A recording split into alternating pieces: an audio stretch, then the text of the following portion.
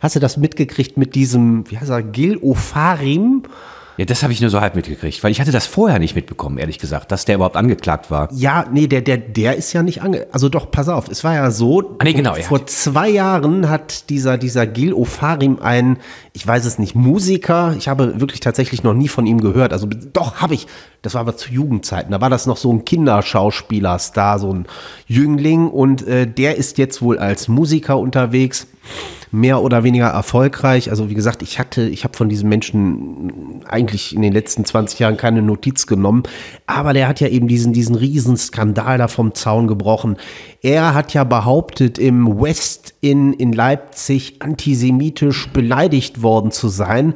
Ähm, er hat dann diese Geschichte erzählt, aufgrund einer, einer Davidsternkette, die er da getragen äh, haben soll, äh, habe ihm der, der, der ähm, Rezeptionist gesagt, ja, ziehen Sie die bitte aus oder verstecken Sie die, sonst kommen Sie hier nicht ran.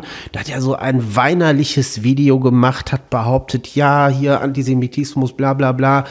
Und ähm, es ist dann auf Videoaufnahmen. Auf ganz billige ganz groß rauskommen. Ganz, ganz billig, ganz, ganz, also wirklich zum Fremdschämen. Und es hat sich dann auch im Laufe der Zeit, hat sich dann, äh, sind dann, sind dann eben diese Videoaufnahmen aufgetaucht, eben von dieser Szene, wo sich dieser Gil Ofarim da vor dem Rezeptionisten aufgebaut und aufgebauscht hat. Und man hat dann sehr eindeutig sehen können, dass da, wo die Kette eigentlich hätte hängen sollen, keine Kette gewesen ist. Also er hat diese Geschichte tatsächlich von vorne bis hinten vollständig erfunden, ja, inklusive eines direkt danach erfolgten, ähm, ja, YouTube-Videos oder weiß ich nicht, also er hat sich da selber aufgenommen, hat es, ich weiß nicht, bei Instagram oder YouTube hochgeladen oder weiß ich nicht wo. Und äh, ja, der, der, äh, ich glaube, der Rezeptionist, der wurde dann auch kurze Zeit freigestellt, ja, weil er dann eben, wie gesagt, also das Hotel wollte diese Vorwürfe halt nicht auf sich sitzen lassen, wollte da aktiv werden, ist aktiv geworden. Ja, und äh, das alles hat sich jetzt gewendet und ähm, gestern kam es dann ähm, bei der Verhandlung, ähm, die da fortgesetzt werden sollte, da hat eben dieser Gil Ofarim dann zugegeben, alles erfunden zu haben. Und jetzt kommt's. Das Gericht hat das Verfahren dann eingestellt. Ja, aber wir Gottschalk, leben in verrückten Zeiten. aber in sehr verrückten Zeiten. Und Gottschalk. Auch Gottschalk. Der Tommy. Der Tommy, ja, hast ja auch. Ich habe es nicht gesehen. Hast du es gesehen? Ich habe nur die, den, den, ich, ich gucke kein Wetten, das Nee, schon, nee, schon nee. lange nicht mehr, seit ich zwölf bin oder so nicht. Nee, aber, aber Auch die Tommy, letzte Sendung nicht. Tommy hat sich ja, hat sich ja verabschiedet. Ähm, und das fand ich, ähm, Kollege Koll ist da etwas anderer Meinung, aber ich fand das schon interessant. Also mindestens interessant. Ne? Also Tommy geht jetzt in Rente ne? und kaum ist er in Rente, schon wird er mutig. Ne? Und das ist auch so ein, ja, das ist aber auch Ja, so, das ist- das ist so ein Phänomen, das man dieser Tage doch oft beobachtet, dass Leute aus dem Mainstream, also wirklich aus, dem tiefst, aus den tiefsten Tiefen des Mainstreams, sobald sie da irgendwo, ähm, ich sag mal, in Rente gegangen sind, nichts mehr zu verlieren haben, dass dann auf einmal Töne laut werden oder Positionen verbreitet werden, die man zu Zeiten äh, ja, die man vor wenigen Jahren von diesen Leuten nicht gehört hätte. So und ja, jetzt hat sich Tommy halt geäußert und gesagt, ja, äh, bevor bevor ich da irgendeinen Shitstorm auslöse,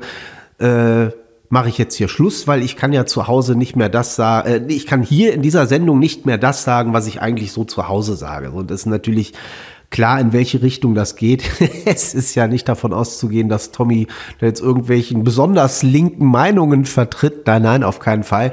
So, und ähm, da hat sich natürlich auch die linke Bubble, ja, da haben sich so endlos Allein viele diese, Leute diese drüber. wirklich minimale Andeutung. Er hat es ja nicht mal ausgebreitet. Ne? Er hat Diese- ja nur gesagt, okay, ich muss jetzt hier anders reden, als ich zu Hause rede. ja, so zu dem einen oder Aber das war so sein, offenbar sein Schlussstatement Ganz Sendung, genau. Ne? Und, und, und mit den Reaktionen, die er dadurch ausgelöst hat. Aber er hat sie ja getriggert. Ne? Er hat sie ohne Ende getriggert. Durch, durch und durch. Und die Reaktionen, die dann zum Vorschein gekommen sind, ja, die haben ihn ja vollends bestätigt. Ja, klar. Ja, Wie das immer so ist.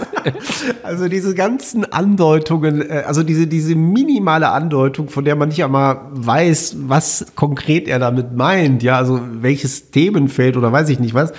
Allein das hat schon gereicht, um die Leute wirklich auf die Palme zu bringen. Also ich sag mal, diese, diese Systemschranzen, die eben immer noch so 180 prozentig hinter Rot, Rot, Gelb, nee, hinter Rot, Gelb, Grün stehen oder weiß ich nicht was, die sich dann dadurch so getriggert fühlen und, und, und, und, und ja, darin etwas völlig Unsagbares ähm, erkannt haben wollen und ähm, ja,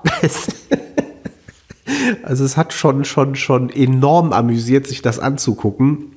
Und das, man muss sich das mal vorstellen, Gottschalk und Wetten das, ne, um das jetzt hier mal so als Gradmesser zu nehmen, das hat bei Twitter bis gestern noch getrendet.